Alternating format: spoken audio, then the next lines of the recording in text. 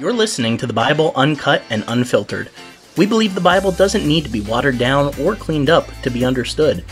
Our goal is to provide a healing place to discuss the questions you can't ask and the context you won't learn in church. I'm your host, Colin Connor. Now, on to the episode.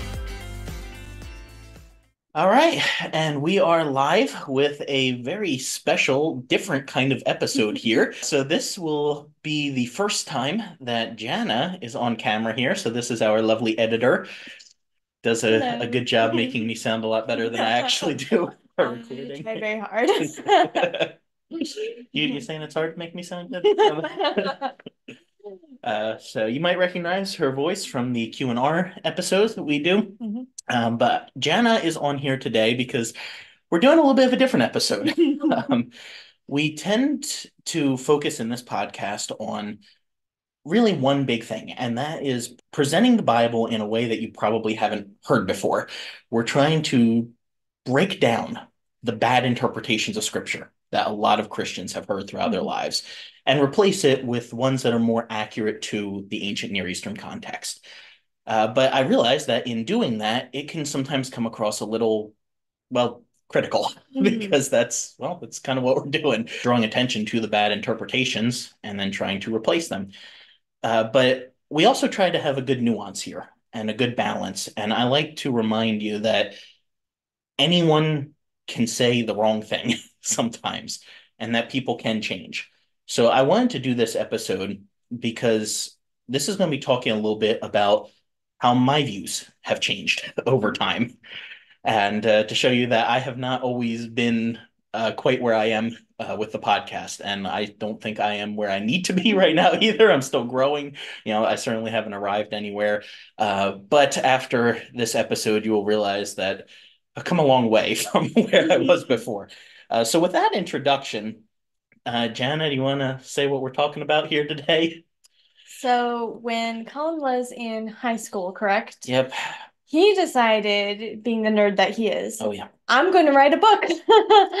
Uh, and you know, I when I was in a teenager, I also was into writing books, more fictional, but this man actually got his book published in like, well, not like. Published, but Yeah, yeah, printed. printed. Um, yeah, he actually got his book printed and actually handed out copies. And of course, I, at the time being his girlfriend, I got a copy of it for myself. Um, Yeah. And let let me We, just we have to give a major cringe warning for this episode, okay? I I am corny now, but I was very cringy as a teenager. I mean, aren't all teenagers, but teenager. but most teenagers don't try to write a book challenging the entire American church to get off their lazy butts and do something for God. So Right, and let me just say one of my most favorite things Oh, so far is the fact that he has it, you can't see, but he has it pre-signed in case Okay. he hands it to somebody. okay, so yeah, gi- giving the, the background of this from someone who was there. Uh, I always liked writing as a teenager. Um, I did it a lot with school. I had a lot of projects I had to write in school. And so then I just kind of tried to write out my own thoughts on stuff. And growing up independent fundamental Baptist, most of my thoughts were about how we needed to try harder for God and and how we couldn't really ever please him. We just had to keep working, working, working in our faith. Uh, and I was very much a preacher. I was a preacher boy from the time I was in fifth grade. That was the first sermon I ever preached. Uh, it was for Master Club, which is what we had at our church. I had to give a Mhm. five minute sermon for that. Mhm. And then from then on, I just started, I would preach in the children's church, the, the uh, youth group, eventually main services and everything. Uh, so this was very consistent with my character. I started writing this when I was 14.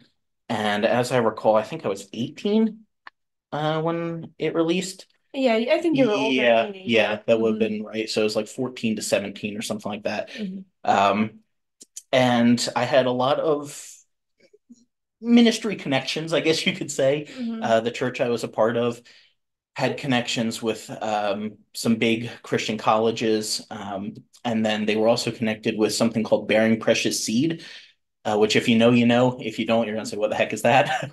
it was a group, uh, it is a group that prints Bibles, usually John and Romans, Mhm. and uh, then gives them to missionaries or churches to pass out wherever they are. Mhm. So we had connections there, and a couple of pastor friends that I had worked to get the people at Bearing Precious Seed to print up. I don't even remember. It was like 100 copies or 200 copies or something of this. Yeah. Uh, and and so I will say, uh, I I am not. I'm going to be disparaging my own views in this. Uh, I do not mean anything rude to the people who helped me out with this at the time because I realize many of them have also changed on their journey. Mhm. Uh, this, this was printed. Uh, again, I like to make that distinction. I am not a published author at, at 17. Okay, this was printed, not published. Uh, so yeah, 2015. That was that was uh, like eight years ago now. Uh, so the people who helped me with this may very well have changed some of their views as well, and and they were just trying to be supportive to uh, a very pretentious teenager that, that they saw something good in. So uh, anything I say with this is is not against them. I'm very thankful for the support they gave. Um, but yeah, I did not choose the cover. This is a very generic uh, desert road cover. I was a little bit of a graphic designer, so I, I would have had some problem with that. But Mhm. We did this whole thing at the end of a service, actually. It was like announced to the church that I had written this book. And so people, oh, you didn't know that? didn't know that. Okay. All right. Oh. Yeah. All right. So, so just so you guys know, nothing in this episode is scripted. yeah. Uh, I have not looked at this book in about three to four years, so I'm just going to be going through this, making comments about why some of my beliefs were toxic and and what I've changed in. Uh, so Mhm. I don't even know what I'm getting myself into here. I have blocked the majority of this book from my memory. Uh, but but yeah, we actually had a thing at the end of the service one night. It was a Sunday night. Announced to the church, and everybody who was there that night got a copy passed out to them. Like the ushers come up and yeah, they pass out to the whole church copy. Wow. Yeah. Wow. Well, you you were your church's golden child. Yes. So Yes. Very much. that makes sense. Everyone got a copy, and a lot of people wanted me to sign them. so you had to pre Oh yeah, absolutely, I did because I had this like line of people that night. No joke. I actually had a couple of people mad at me because they didn't get me to sign the book because the line was too long that day. No joke. I actually had someone come up to me and apologize later for being angry at me for my not signing their copy of the book that night. Yeah, it was Baptist churches are interesting, man. Remember, this is a 17-year-old kid we're talking about. Yeah. So so yes, I did pre-sign them so it would be easy. And and it was always something along the lines of this. I pray this book will be a blessing to you in Christ alone, Colin Connor. And then I had my my life verse. We need to do something on life verses sometime. We do. Mhm. And uh, my mine was, you know what? I'm not even gonna say. We'll we'll just have to do that for for when we do something on life verses. You all can guess what my what you think my life verse was, and you can put that in comments, uh, or or a good life verse that you know of, because there were definitely some fun ones. Do we have to get into this? All right. So the book is called Complacent Christianity, and somewhere on a OneDrive file, I have like seven follow-up books, book ideas planned for this, and they were all alliterated. You know, being a good Baptist. Oh yeah. I don't even remember what they were all called, but I know they all started with C and then Christianity. Oh. I think complicated Christianity. Something along those lines. Yeah, yeah. So, yep. Complacent Christianity. Um, all right. So basic table of contents. And then I had this author's note, and we have to start on this. Yeah, because every every book that I had tried to write, and like I said, I have somewhere on some OneDrive file dozens of book ideas. Mhm. And a few that I actually started to write. I believe it. They will never see the light of day. But- Right. uh, but all of them, literally every single one, I began with this exact same author's note at the time because I came from a very King James only church. Mhm. Uh, now we would have said we were King James only, not King James ugly. Now that was the thing back then. Uh, But yeah, so so I decided that all of my books need an author's note on why I decided to use the King James. The book has nothing to do with the King James Bible. I just decided I needed to make this statement. gotta So it. so yeah, uh, all biblical references and allusions of this book are taken from the authorized King James version of the Bible. And then I go on to explain why. Um, with over 450 full or partial translations of the Bible into the language of the English people, it may seem next to impossible to clearly discern which one is using. Uh, furthermore, choosing a version of the Bible for yourself is no light task. If you follow the commands in God's word, then you read the scriptures and meditate on them every day. I'm not sure where I got that from because there is nothing in the Bible that says you have to read the Bible every day, especially since most people when the Bible was written couldn't read. So that couldn't be a command. Right. But, you know, it sounded good. So that's the kind of stuff that we say. Well, you know, it's it's taking on the Deuteronomy of, you know, oh, you need to meditate on it. And Sure. that means reading it. If you're not reading it, how can you meditate on it? Right. It can't just be that you're thinking about it. Right. Yeah. Uh, and then I give an example about having to write a book report uh, when you're in high school, because, you know, I was in high school. Right. And uh, the person decides to watch a televised version of the book instead. And then they write a book report on the movie version and fail because they, because Janna, they went off of the wrong version of the story. Now that that was a very bad analogy um, because that's not how versions work. It's not like they're trying to give their own spin on the translation a lot. I mean, some are. Uh, like the ESV, for example, is trying to give a very patriarchal, um, complementarian spin on the Bible. Uh, the the New World Translation uh, with Jehovah's Witnesses is trying to give their spin on the Bible, Mhm. but most are just trying to update the language. So so that's not really accurate way to describe this. Um, that's not helpful. So I say that not everything claiming to be a Bible is the Bible, um, because Jesus said in Matthew 12, 25, that every city or house divided against itself shall not stand. And so you're dividing Christianity by having multiple different versions, not like it could actually help people to understand the Bible from different angles. Uh, you know, you could also throw out this that in the multitude of counselors, there is safety and wisdom. So it could actually help to have different perspectives. Uh, I, I mentioned that version does not equal translation uh, because, you know, bad things are versions and translations are the real thing. I have no clue where I got that distinction because that's not how that works at all. Uh, let's see. Surprisingly, I do actually acknowledge that the King James was not the first English Bible. Uh, so I, I appreciate my honesty there. Uh, let's see. Uh, then I also say, oh, this this is a good one. You'll appreciate this. Mhm. The world would love his own. Rarely do we find the world persecuting or criticizing other versions of the Bible, but it often finds fault in the King James. Okay, folks, this is a good example of how when you're in a small bubble, I want to say a cult, but I will say a small bubble, Right. you think everybody thinks that way, and you Yeah. think everybody is against you. Right.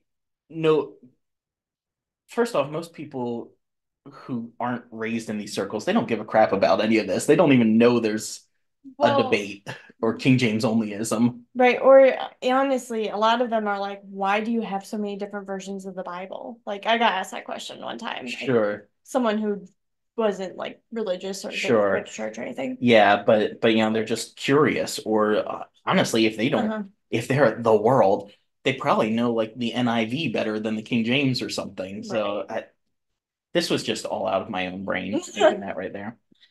Uh, yeah. Then I make some other arguments that we'll we'll eventually do a King James series and a Bible translation series.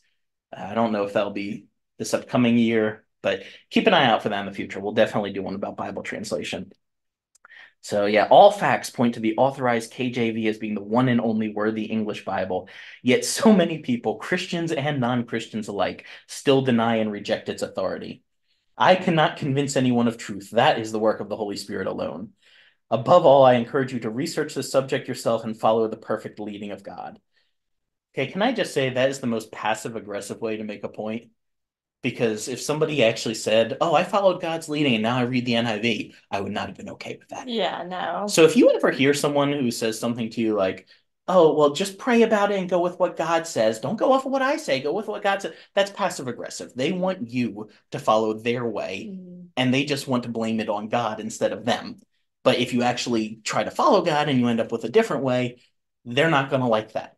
So that should tell you they don't care about what God thinks. They just want you to follow their view. Speaking from someone who spoke that way. Mhm. All right, here's the prologue. Have you ever started your car one morning only to discover it no longer had that new car smell? More likely, you never fully appreciated the fresh scent until it ceased to exist.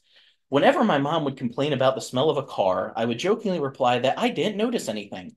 Her guaranteed response, it's because you're complacent. Now, I just want to pause and say, I don't remember this. so, so, so, for all of the people, all, all 20 of you who read this book when I was a teenager, that makes my mom sound like a horrible person. And uh, she's not, I promise. like that without of, out of context, just hearing, oh, it's because you're complacent. That sounds nasty. My mom is not that way. She's actually a really nice person. yeah. So, so I apologize if, if you thought my mom was weird because of this line. I have no clue what I was talking about. Yeah, I was gonna say that does not sound like your mom at all. No, I, I think we had some little in joke between the two of us of of something. Sure. Maybe there's a sermon we had heard and we just like to call each other complacent about. Yeah. But yeah, I mean, when I, when I originally read it, I mean, I didn't take it that way. As like she was being nasty. It was just like, oh, you've gotten used to the smell. But I mean, I can see how Yeah, that wording would. yeah. Out of context, that can be weird. yeah. So I try to say that uh, one of Satan's most effective and deadliest weapons against a Christian is complacency, and I have four facts to support this. Oh no. Oh yeah, and then I go through these in the chapter. So 1st Uh-huh. is that most people are oblivious to complacency in their life. Second, complacency easily leads to other sins. Third, complacency halts the growth in the Christian life.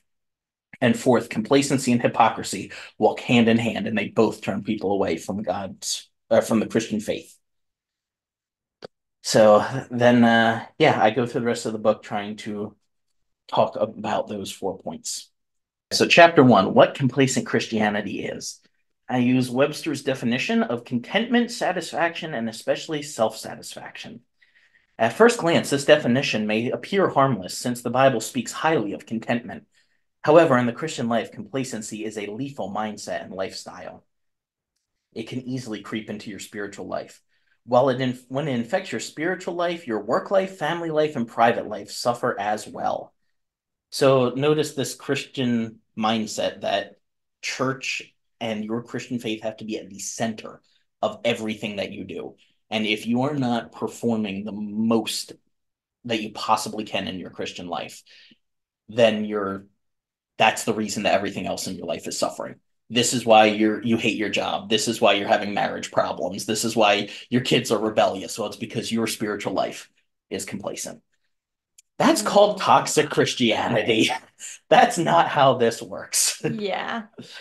Just, just because you didn't get up at 5 a.m. and read your Bible does not mean that's why you're having marriage problems. Yeah. It might be because you're a jerk. Yeah. or because of any number of, of other factors. But yeah, Don't forget to cherish your spouse. love and respect. Amen. We have to do an episode on that sometime too. All right, so I ask how complacency originates. And I say that it goes back to one main sin discontentment with God's requirements or plans for your life.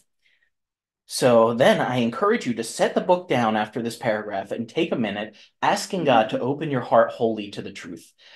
And then I give these three examples. And I say, if any of these three examples typifies your life, immediately seek God's forgiveness and help in ridding you of the sin of complacency. Oh, immediately. Immediately. Uh, Oh yeah, Th- this is such a Baptist thing to have an altar call. in a book. Yes, absolutely. It's like on the book. yes, in the first chapter, the second page of the first chapter. Okay. uh, depending on what tradition you came from, uh, you might not be familiar with an altar call, but it is very popular in Baptist traditions. Most uh, services will end with a call to action. A lot of them will try to bring you down to the front to make this decision, which is a whole other episode in and of itself. Uh, somebody, there's another podcast that did an episode on altar calls.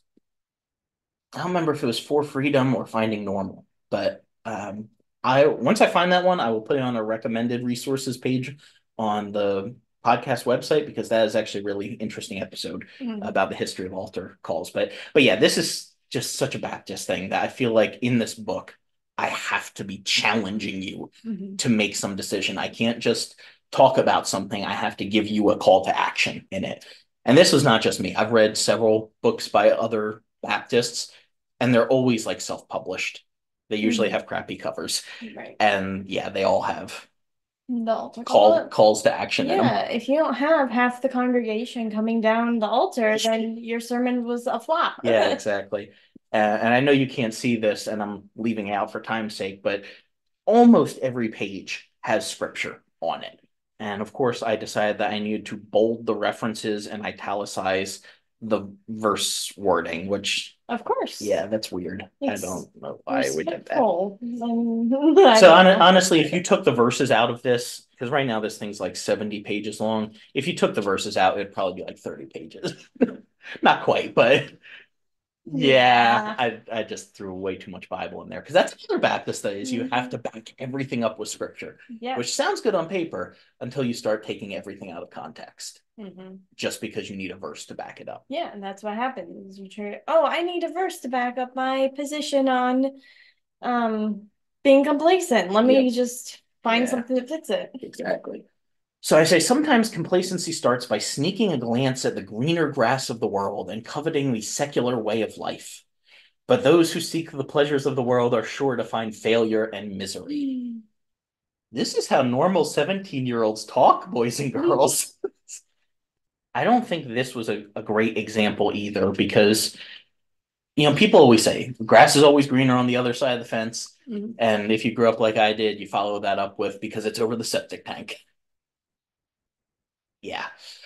And, and that's the idea is you're trying to say life isn't actually as good over there as it looks. It just looks better because it's not yours. But sometimes grass is actually greener on the neighbor's lawn because they have better grass than you do or because they take care of it better. Like if I'm going to use this analogy, I'm going to push this analogy. Sometimes the grass is greener because it's better grass. Uh, my parent and I use this illustration actually in here is I try my parents have this really crappy type of grass. It's called zoysia. And I no joke, this is in the book because I I yeah. because I say it's the latest to grow green in the spring and the first to brown in the fall. And and that is true. Um, whereas we were over at my grandfather's house not that long ago, and his grass, we're in November right now when we're recording this. So my parents' grass has been brown for a while. His my grandfather's grass was green, is still green, Mhm, and will be for a while because it's better grass. mhm. So yeah, sometimes the grass just looks greener. Sometimes maybe it's actually better over there. So yeah, younger me went like that, but that's worth throwing out. Sometimes the grass looks greener because you're in a cult. Uh, I say in this that uh, the pleasures of wor- the world may look tempting and green for a time, but they quickly shed their appeal. And come fall, metaphorically, the day we reach heaven, the world's grass will be as drab and dead as possible, but the Christians will live on, a sight for all to see and a testimony that cannot be ignored. But basically, all grass dies in the winter. That was a very flawed analogy. Yeah. it doesn't work. Uh, I also said that you can become complacent by wanting to see how the world gets away with sin. That begins the descent. However, once you know how the world operates, you have already progressed too far. Yeah, I mean, I'm I'm already like, okay, what are we what are we clarifying as sin here? Like, is it just anything I feel guilty about? Oh, absolutely. you know, I've been That's how this works, Janna. or you know, is it anything that I've been told, oh, you can't do that or you shouldn't do that, Right. then, you know, well, it's sin because you told me not to do it. Oh, that's where most churches have their power, though, is a very broad definition of sin. Right. And so anything that I like to preach against and I can throw a verse behind, oh, Mhm. that's sin. And so you should feel bad about it. Right. So yeah, I'm absolutely doing that kind of thing. I also just want to point out that basically by saying that once you know how the world operates, you've already progressed too far. That's saying that if you question what life is like outside of your little bubble, you're going too far. Mm. Hi. That's called a cult. Get out now. That's not okay. if somebody says that to you, don't don't figure out how people outside of our circle do things. Don't question that. You've already gone too far. That is not okay. That is a cult. I was on the fast track to being a cult leader here at 17, all right? You still are. No, I'm just kidding. I'm joking. I, I would make a great cult leader. Oh yeah, Oh. you're charismatic. Yeah. You you're very factual, and people love you. And we have a great name for it. Any of my followers would be colonists. Maybe even in such a complacent state, this Christian still attends church. He simply lacks an enthusiasm to exert himself for Christ. Mention the word sacrifice, and you automatically suffer the loss of his attention. Or maybe it's just someone with healthy boundaries who doesn't want to spend five days a week at the church. There's that too. Yeah. I was one of those people. I was at church more nights than I was at home a lot of times. That's not good. That's not what it was supposed to be like. No. Where in the Bible was Jesus involved in 90 million ministries at his local what synagogue or church, whatever you want to call it? Hmm. He was. He had the uh, overthrowing tables ministry. right. The church shut that one down after the first meeting. Another example of complacency begins entirely with discontentment. Perhaps you're experiencing a trial in your life and no end appears in sight. You become exhausted, fed up, and dissatisfied with your lot in life. Perhaps you've labored tirelessly for the cause of Christ. You've cleaned the church, taught in Sunday school, canvassed the town, even personally passed out a tract or two, yet no one, not even the pastor, not even the friends you've been working with, acknowledges your part in the ministry. And can, can I just say that if you spend all of that time at church and you don't get even a little thank you for it, you might want to think about changing churches. Yeah, I realize you're not supposed to do that kind of thing for a thank you, Mhm. but if the church just treats you as a workhorse to do their stuff for them, especially if you have a paid church staff Mhm. and they're just trying to get you to go out and Do all that. yeah, Yeah. I mean, it's like it's like a business. Oh, Oh, well, absolutely. yeah, you're doing all this work, but if you leave, we'll just replace you with some, you know, next guy who comes along. right.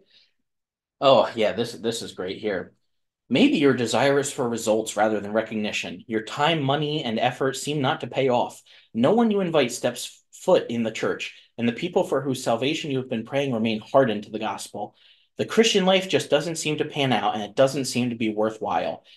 Um, maybe that's because you're doing stuff like I said, handing out tracts, knocking on doors. That's stuff that worked 50 years ago. Yeah. Maybe the reason it's not working is because those are outdated methods and you need to update what you're doing. Yeah.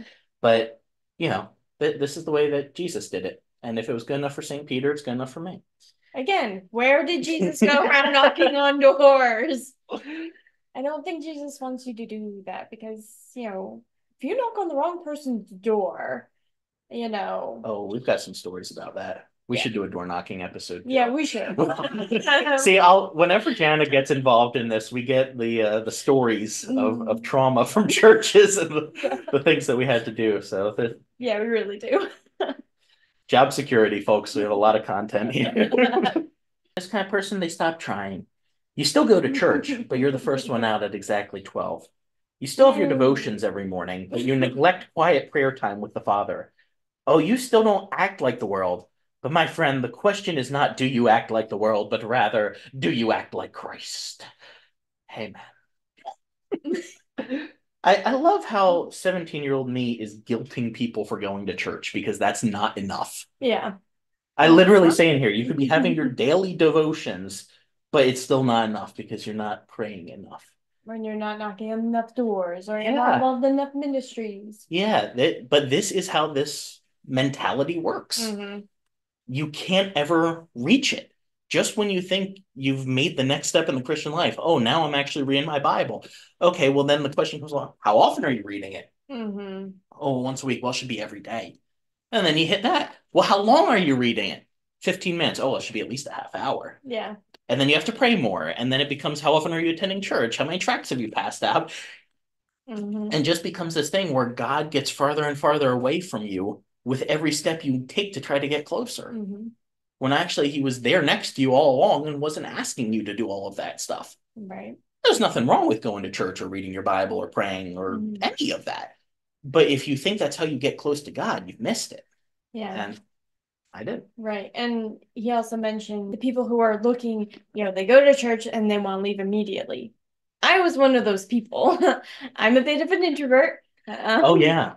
You know, especially Yeah. if I'm around people that I'm not familiar with.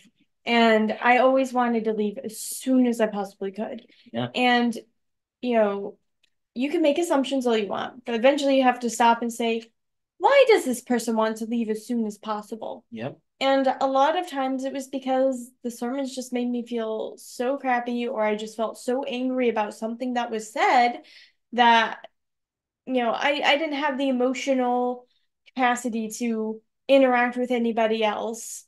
And Yeah. Yeah, I just wanted to leave. And if you have a good party or something, people aren't rushing to get out.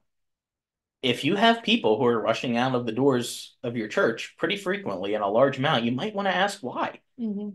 Because church shouldn't be a drudgery. It shouldn't be something that you just feel like you have to go to and then you want to get out as fast as possible. Yeah. There, there's something really wrong with what you're doing if that's what a lot of people are doing. Mhm. But like Janna brought up, and this is a good point too, some people are just going to do that because that's their preference. And especially we live in a post-COVID world now, so some people just are that way, and that's yeah. okay. Mhm. Growing up, I was very extroverted. That's how I was raised to be. Mhm. I didn't realize until I was older that I was actually an introvert. Mhm. So I wasn't thinking of introverts here. So yeah, absolutely. I would have looked down on you as a teenager for not wanting to stay and talk to people. Right. Um, Well, and and really the rushing to get out didn't happen until I was older Mm. and after I'd been in Bible college and you know, we sat in Bible college, we sat through so so so so so many sermons and after Oh, yeah. you know, literally every day we had chapel. Yeah, for we were four- required. for four, well, for me, five years straight, uh, I transferred colleges. Um, but She got yeah. held back. No, I'm kidding. Um, and after a while, there's only so many notes you can take about this stuff before you're like, yeah, I've already heard that before. I've got that down pretty well. Oh yeah, we joked about you could have a bingo card Oh, easily. for Mhm. these sermons to the point that you could preach it as soon as you hear the reference, you can preach it better than Oh, yeah. the than the preacher Mhm. could up there because they're all the same, cut and paste. Because a lot of these guys are just looking at old Charles Spurgeon sermons Right, or D.L. Moody or something like that. right. And we're we're talking within our Baptist circles. We're Oh yeah, we're not, you know, talking about evangelicals because I know their sermons can be a little A more little- interesting. Yeah, a little bit more. Di- yeah, yeah, a little more interesting. Every version of Christianity has problems. yeah, But I will say evangelicals are at least more interesting than how we grew up. Now, some people would consider Baptist evangelicals. We were in a very independent segment where that would Mhm. have that would have been sketchy. yeah. Okay, I could have all I could have raised the eyebrows of some people just by signing this in Christ alone because that's you know a Getty connection right there. yeah. We were that bad. Oh yeah. The, here we go. Here's some good stuff right here. Mhm.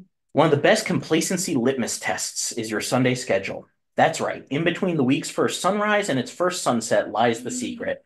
You see, far too many people who claim the name of Christ spend Sunday for far more than just worship and rest. Sports, shopping, entertainment, video games, Super Bowl are all played, done, or watched respectively on Sunday. Don't misunderstand me. No hidden evil exists in these activities, especially resting on Sunday. However, weekend plans must never interfere with or supersede church. And apparently, Mhm. 17 year old me firmly believed that organized sports should not be played on Sundays. Of course. Now, if the Flyers were on on a Sunday, you better believe I was still watching it. So, It's the hypocrisy. oh, absolutely. Absolutely. I, I, IFB circles are notoriously hypocritical for that Mhm. kind of thing. Oh, very. You know, we're not allowed to listen to secular music, but you can listen to Disney songs or Weird Al hmm or something like that. But you know, you can't listen to the song that Weird Al was parodying. Or sometimes you can't even watch the Disney movie, but you can listen to the music. Some people. Oh yeah. Yeah. I mean, it, it varies with each, you It know, really does. family. Yeah. So Some families are like, no, we don't do any of that. And yeah. Then of course I back this up with remember the Sabbath day, and I say it's Sunday in our case, which you can't make that. Um, eventually we are going to do a series in Exodus, and I can't wait for when we do the Ten Commandments episode because that's I I say that God gave us this direct command. After all, there's a reason we don't call Exodus 20 the 10 suggestions. Funny thing about that is in Hebrew, it's actually called the 10 sayings. The word is not commandments. It's just the 10 sayings. So it's kind of closer to the 10 suggestions than the 10 commandments. But so I say, no matter how little time you have, if you give time to God, He will always give time to you. Think about that. Mm-hmm. I once heard a story of two pioneer wagon trains traveling out west. One train stopped on Sundays despite their dwindling supplies, and the other drove out as if it were a weekday. Interestingly enough, the pioneers who honored the Lord's Day reached their destin- destination first. Whether or not the event actually occurred, the moral remains give to God and he will give to you. source. Oh, yeah, absolutely. That's what I was going to touch on. Like, I'm sure this isn't just Baptist, but Baptist was our experience. They are notorious for filling up their sermons with honestly more illustrations than Bible. Mm-hmm. Oh. the illustrations never have a source. And it's just some pithy thing that if it sounds good, they say it. Mhm. And if you fact checked it half the time, you wouldn't ever be able to find a source. Right. Now, at least here I say I don't know if the story was actually true, but I knew it would drive me nuts. And I'll just maybe this was petty of me, but if a preacher gave an illustration in a sermon, I would fact check it right then and there. And if I found out it was wrong, I was done listening to him the rest of the sermon. Yeah. I'm just like, if you can't take the 30 seconds I just took to Mhm. double check your story, it's not worth my listening to because I can't trust the rest of your. Right. study. If you didn't even, you know, care to do background check on that, Yeah. well, what other stuff are you saying that you didn't bother to do background check on, you know? Yep. I mean, with these preachers, the sources, just trust me, bro. yeah, seriously. And and you know, even if that illustration were true, it's probably because resting is actually a good thing. Like there is wisdom in the biblical instruction to take a day to rest.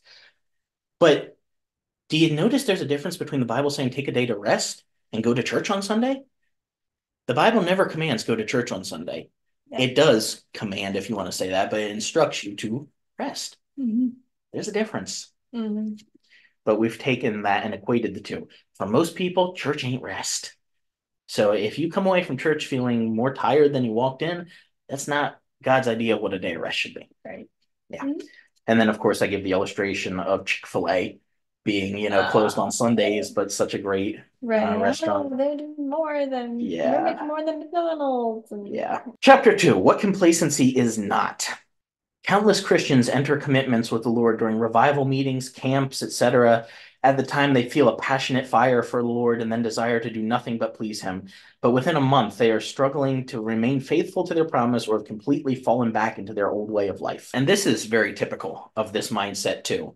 Is like we will send you to a camp if you're a teenager, or maybe, you know, a married couple, uh, or we'll have a, a revival service or something like that Mhm. and we guilt you into getting a, a deeper fire for God.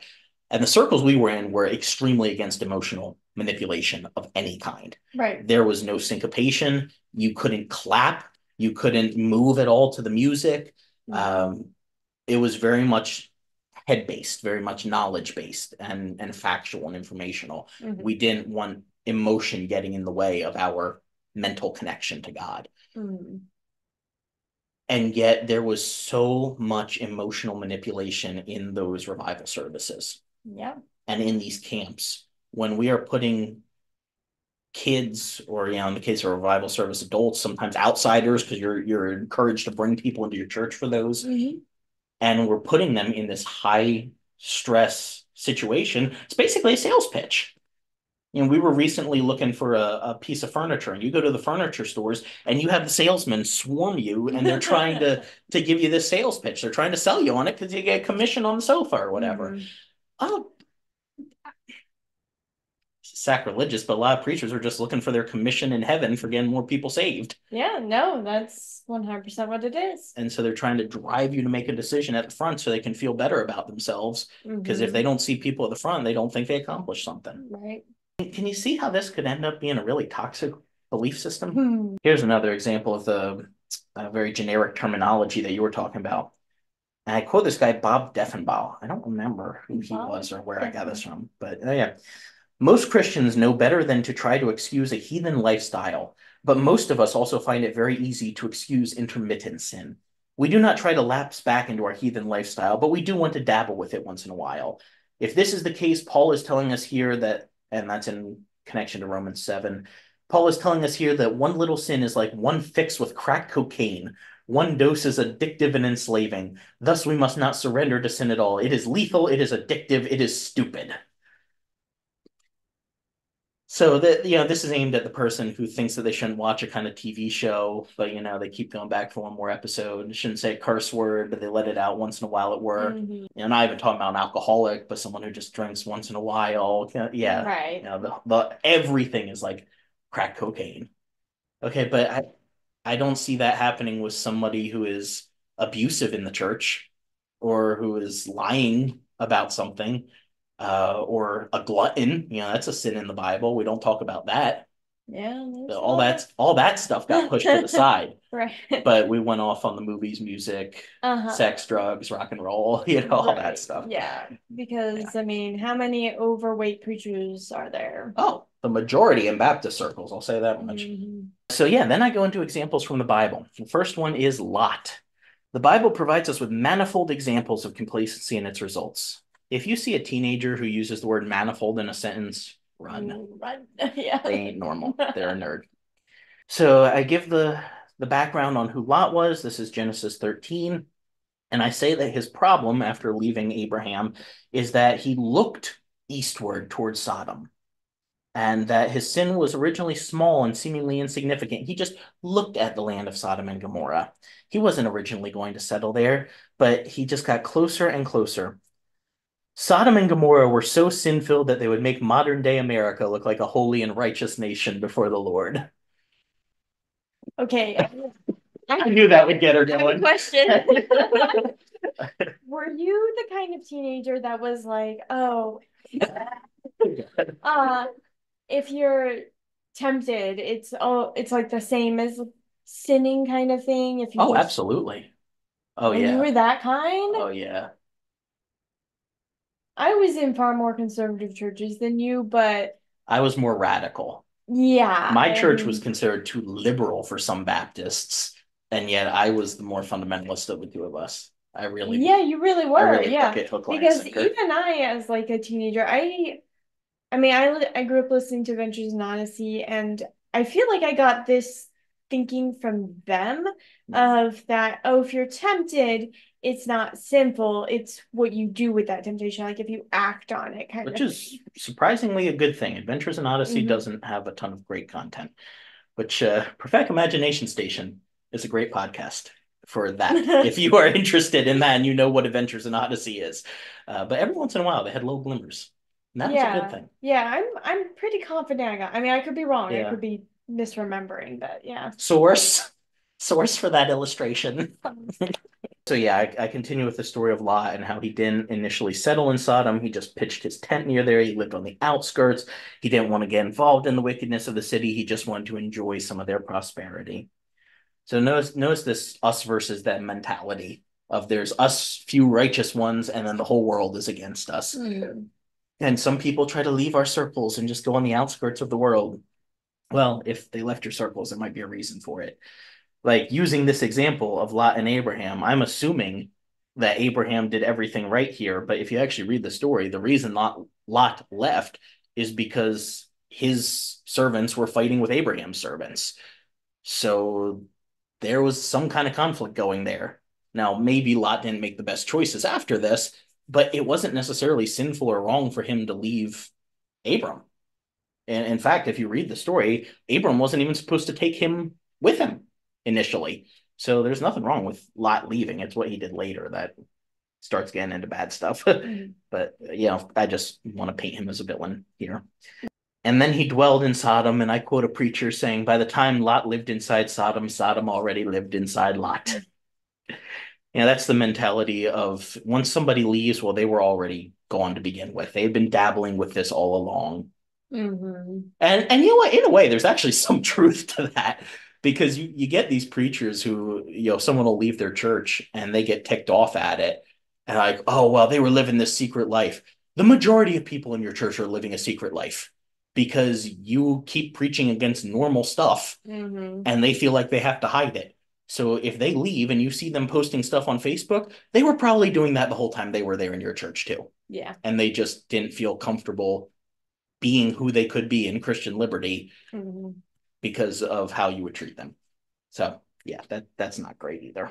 While still in Sodom, Lot may have retained precious few of his godly morals. But by the time God decimated the city, Lot had lost the faith he once held dear.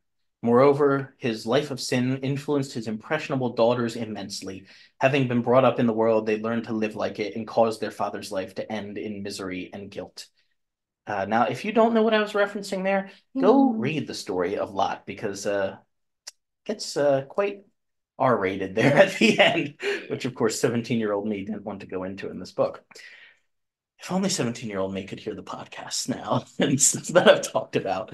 Uh, but but yeah, you don't actually get in the story that Lot lost his faith. Like, yes, his life doesn't end well, but the Bible does actually call him righteous, which is really frustrating to a lot of Christians Mm. because they want to preach against Lot and Right. and just like this say, well, you can't leave the fold and go towards Sodom. And yet the Bible says he was righteous even living in Sodom. Hmm. And it's really interesting because the the good guys, quote unquote, in the Bible story aren't that good. There's, in fact, a lot of times it's the quote unquote bad guys who act better. Mhm. Uh, so just because they were in God's line that He chose doesn't mean that they were always making the right decision. Uh, and just because they weren't the one that God chose doesn't mean they were always making wrong decisions. God went with Abraham, but still called Lot righteous despite all of that. So, Mhm. but you're not going to usually hear that in church. Then, of course, I have to go to King David and talk about his adultery. He was in the wrong place at the wrong time, which is a really bad way to talk about somebody who raped somebody else. That's Yeah. not helpful. Yeah. He saw Bathsheba, lusted in his heart, and continued in his sin. Then he attempted the ultimate cover up. He lied, sought to morally degrade Uriah, Bathsheba's husband, and finally murdered him. Complacency leads to other sins.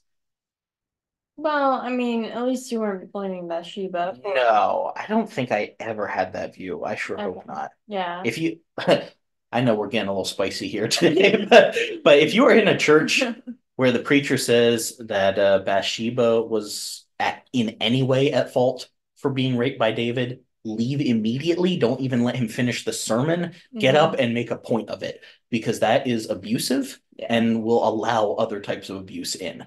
David raped Bathsheba. King David, golden child of the Old Testament, was a rapist. Yeah. We should not be uplifting that No. or or excusing it in any way. No one's uplifting it, but Right. we shouldn't be excusing it in any way. Yeah.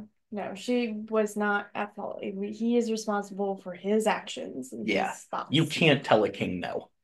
And especially not as a woman in an ancient context. Right. That's not how that worked. Well, and I'm I'm saying just, you know, there's still people today, you know, you might think, oh, we've moved past this, but there's still people today who say, oh, if a girl gets, you know, molested, raped, whatever, it's her fault mm-hmm. for dressing X way. Ugh. No, no, it's the man. The man is the one who did it. It's he's responsible for his actions and thoughts. Yeah. Yeah, we need to get into that at some point because that that's a huge thing. We grew up in purity culture too, so we have all of those effects. So basically, I just use David as a way to say that even if you're complacent, you can eventually be forgiven and get back on track because, mm-hmm. you know, David was forgiven by God. Right. So this is a warning reminder to those in authority in the church, whether they be a deacon, usher, Sunday school teacher, or even pastor. Those whom God places in positions of authority must answer to him for any of their wrongdoing that leads others astray. That's actually not a bad point. That's probably the best thing I've said in the book so far. But of course, I just use it to guilt you into making sure that you always do right, even when no one is watching, because God is. Of course. Mhm. Chapter 5 Complacency in the Bible with the Pharisees. I explain a little bit about who they were. They were hypocritical and ultra obedient to the law of Moses. I say some people possess a knack for understanding the scriptures. God has blessed them with a desire to delve deeper into his word and learn more. Such a person is an increasingly rare blessing. Little 17 year old me patting myself on the back there. However, a growth in knowledge can produce a growth in pride, in spirituality, and in complacency. But you never struggled with Oh, pride no, at all. Not at all. I was the Oh, most humble person I knew. Of course. You can easily gain a holier than thou view when you know a lot about religion. In most cases, you don't even realize you have such a spirit. Yeah. you you definitely did not have a holier than thou. Oh, I knew that I used to, but by this point I had arrived. You know, I was good.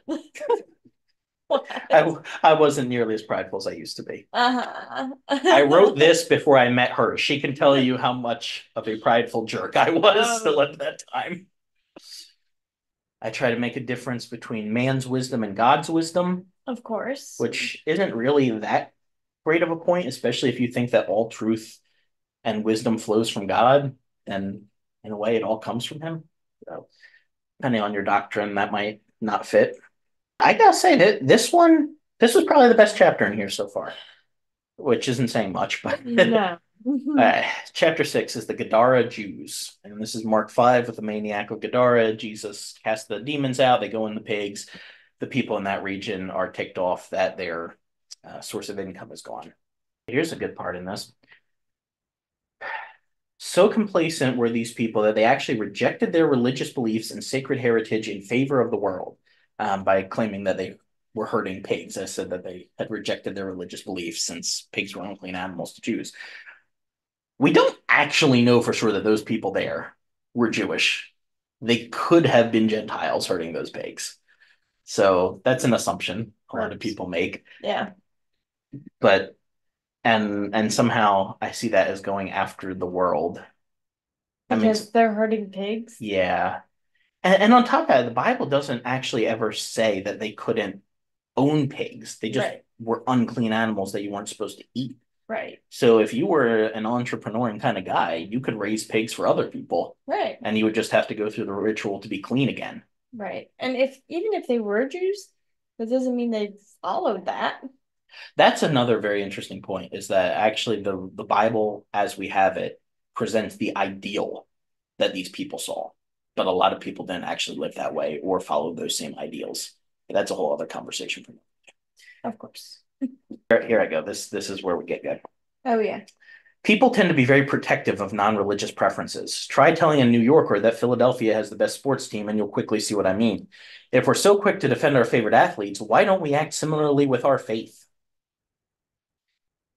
As someone who is actually a Philly sports fan, I do not ever recommend that you defend your faith the way we defend our sports teams. That we're basically bang, getting back to the Crusades at this point. Yeah, I was gonna say that- not good. You're you're back to the Spanish Inquisition. and nobody expects that. But yeah, it's it's not good. All right, I'm a hockey fan. We go to a you know a, a fight and a hockey game breaks out. Mhm. Yeah, Yeah. I I don't I've seen more fights in the stands and parking lots in Philly than I have in the actual hockey games. So don't don't defend your faith like that. yeah, I don't think Jesus wants us No. to these not, not at all. Um, Christians today are very easily swayed from their firm foundation by contemporary movements, easy believism, practical atheism, and seemingly every wind of doctrine. No, not the easy believism. The easy believism. Oh my God. Yeah. Yeah. I haven't heard that in a while. Basically, easy believism was a way of just saying that people who say all you have to do is believe and you're saved, that that was like an attack on that, which most people would say is actually kind of the gospel in the scriptures. So yeah, it's it's just stupid terminology to fight other Christians and say, oh well, they they just wanted to claim to get saved and then keep living how they want to live. They don't want to actually change their life. Right. Maybe they don't want to change their life to fit your version of how you think Christianity should be. But when you think your version is the only way Christianity should be, Mhm. there's no other options. Right. Yeah. Right.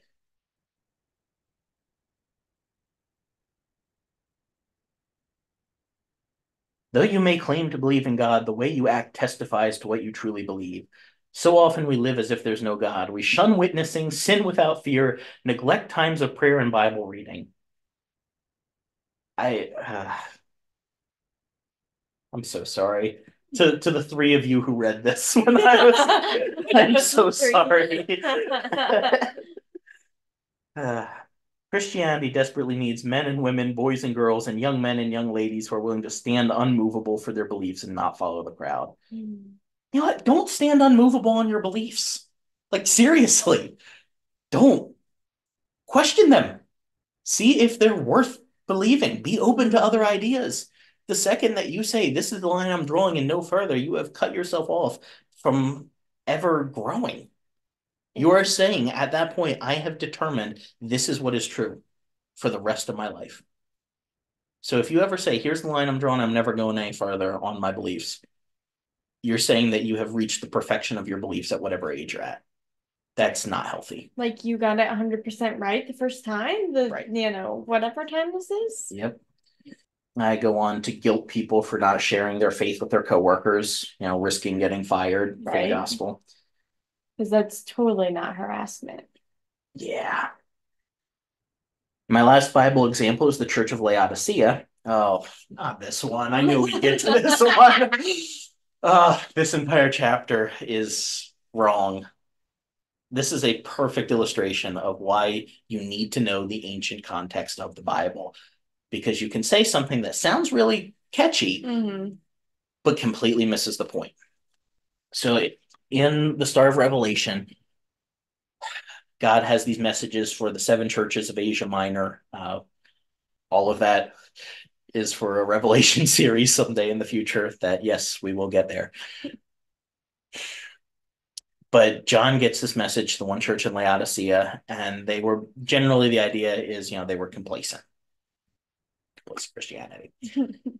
And so That's the name of the book. book. Yeah, yeah, very good. So ba- basically, the message to them is you're not hot or cold. I wish that you were hot or cold. You're lukewarm, so I'm going to spit you out of my mouth. right. Some people who grew up here and that actually have had like some traumatic experiences from that. Hmm. I was just listening to a, a podcast recently where the person, the the wife doing the podcast said that she was so scared of this, Hmm. of getting to eternity and God saying, Oh, you were lukewarm. I'm just spitting you out of my mouth. Right. That she had to be in therapy. And like it got down to once they realized that was a key fear she had Uh-huh. and they addressed that, a lot of her anxiety went away. Wow. Like these beliefs can affect you mentally, physically.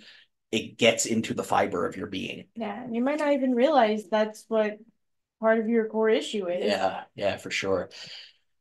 So I yeah, if, if this kind of sounds like stuff you've heard before, I might recommend going to see a therapist who who has experience in religious trauma because you might have some stuff to talk with them about. Hmm. But but yeah, the general idea with this story goes that God is saying, I would actually rather you either be totally on fire for me or you actually be ice cold, don't give a crap about me. Mhm. Because you're lukewarm, it's in between, it's no good. I would, and God is actually saying, I think I say it in here somewhere, that God basically says he would rather have someone totally who doesn't care about him rather than a lukewarm Christian.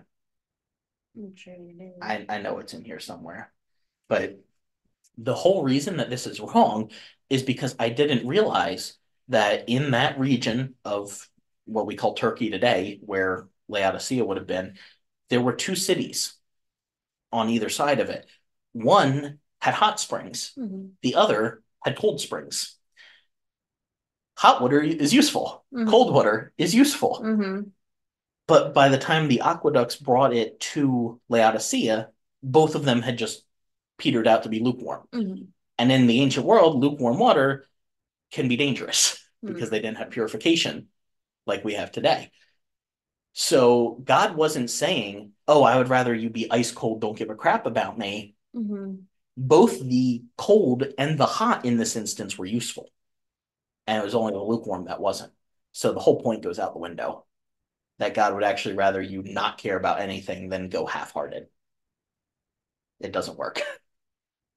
I'm not entirely following because if it's not useful, if the lukewarm isn't useful, then doesn't that kind of reinforce the point of Okay, of the passage, yes, but the point that I was trying to make, and I've heard other preachers say, uh, is that the the ice cold isn't any good either. ah, But God okay, would rather you be totally against him Uh-huh. than for him half. I okay. Okay, I see. So in other words, you know, don't don't just go to church and drop five bucks in the offering plate. Like you have to be fully on fire for God Mhm. or nothing. Mhm. Not the in between isn't worth it. So I was trying to push everybody to either one of those extremes. Right. I was trying to push you to be on fire for God and let the other ones peter out to be totally cold to him because, you know, the middle doesn't matter to God. When in reality, that's not what this What is talking about. talking It's about. not a hot and cold in that sort of way. Mhm. So that doesn't work. Yeah. Bad illustration. I have a whole chapter on complacent adolescence, talking to teenagers about why they need to do more for God. A teenager talking to other teenagers. Yeah, Okay. Yeah. Oh, yeah, absolutely. Mhm. that I was being Josh Harris right here, basically, and saying, "Oh, you need to do more for God. You can't, you can't just, you know, live a normal childhood. Right. You have to totally give all of your time for God." Right. The teenagers of America must learn to kneel, how to kneel before God again. Rebellion has no place in God's will. His position, he positions people in authority to lead, guide, and protect. They are representatives of his power and authority. The Lord necessarily and purposefully appoints authority figures, even when they do not always live up to their role. God blesses obedience to those in authority, and he curses the abomination of disobedience. Does he now? yeah, that's setting you up to follow some toxic and abusive leaders. God does not bless obedience to abusive leaders. He blesses leaving, that sort of thing. Yeah. Just one time listening to the world's music, just one time clicking on that website, or just one time hanging out with that friend starts the snowball effect. But one time is never truly one time. You know, that is such a dangerous message because we all screw up. Mm-hmm. We all do stupid things. And if the message you hear is one time is never one time, you get in your head that now, well, I screwed up. I guess I'm going to keep doing this. Mm-hmm. And so you have in your head now, I'm going to keep sinning. I'm going to keep doing whatever this is that I'm not supposed to do. You know, sometimes things can compound and some things are actually addictive. Mm-hmm. But by the same token, you have the power, the self control, the ability to turn your life around and to make different decisions. I'm not talking about someone in addiction here. I realize that's a whole process. But, you know, I, I talk here about, uh, let's say, clicking on that website saying I'm talking about pornography.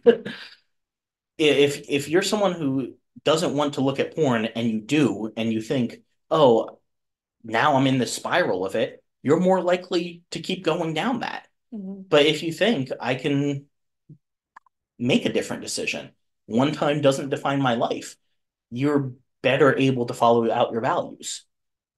But th- this is the kind of message that we hear a lot of times. It's one time is never one time. It's a slippery slope. And so while you think that you're keeping people away from the sin, you can't keep people away from sin. People are going to do things. But what you're doing now is you are conditioning them to think that they can't come to you when they actually do. So if you are a preacher, a Sunday school teacher, a parent, and you're listening to this, please do not teach this kind of thing to people under you. Teach instead that you are going to mess up. And when you do, I'm here for you. Because this message that once you mess up, you just keep going, all that does is drive them further away from you when they inevitably do cross a boundary. Mm-hmm. We got to get into the music. I have a Um, whole section here on music. I do. You do. I do because I talk about Ezekiel 28 and uh, the fall of Lucifer, Mhm. which I think I may have addressed on the podcast before. Lucifer wasn't even his name. That's a whole other thing. Um, but yeah, I say that he was originally a musician because tabrets and pipes are tambourines and flutes. And so, if this is the case, a musician from heaven would most likely have a rather extensive knowledge of the field. When Lucifer's pride enveloped him in sin, he became Satan as we know him today. That's Right. not how the story of the Bible goes at all, but all right. Mhm. At that point, he would have taken his knowledge of music and adapted it for sinful purposes. In short, he knows how to use music strategically. But wait, there's more. If secular music does not attract the soul of a Christian teenager, then the devil employs Christian music. Almost anything can take shelter under that umbrella now, but comparatively few songs that do truly praise the Lord. Anything containing Christian words to a distinctly secular beat is not of God. God is light and in him is no darkness at all, but how many Christian controlled playlists include such music? I do not imply, however, that contemporary automatically equals evil, for Christians today are still writing God glorifying music. It does not, in literal dictionary sense, mean upbeat drums, electric guitar, raise your hands to Jesus. Trouble begins when the title contemporary describes the type of music rather than the time period. The devil's Christian music focuses your attention on contemporary praise. In other words, talking about God while gratifying fleshly human desires. Allowing yourself even an occasional opportunity to listen to such worldly Christian music slowly erodes the barriers of your Christian conscience. So, which group should a Christian avoid? I'm afraid the answer is not that straightforward. God does not provide us with a list of what music to listen to, and in most cases, Christian artists have some acceptable songs and some unacceptable songs. Furthermore, music is not just personal preference. We have to allow the Holy Spirit to guide our decision making. In the area of what we listen to. So here are seven questions that have helped me discern what music Oh, is glorifying. no. yes. Seven questions. Seven questions that you have to ask. And, it, All right. and it's seven. Oh, yes, uh, absolutely. Could be six. This has to be seven. right. Good Baptist. All right, so everybody pull out your Spotify and run your playlist through these seven questions. No. and let us know in the comments if it fits or. Number one, does this song glorify God? This question automatically eliminates non-Christian music. Okay. Number two, does this song include the name of Jesus? This may be an old-fashioned idea, but I believe a Christian song, a song supposedly glorifying to God, should talk about him. Okay. Oh no, wait, wait. Let, Okay. let's get through the seven, and then you can Okay. berate me up and down for this. Is anything about this song anti-Christian? Christian is a word that can have no fellowship with rock, rap, metal, hardcore, or hip hop. And I just want to say, for those of you watching, all right. I'll also point out that I spelled rap with a W. what? I did. You spelled it with a W?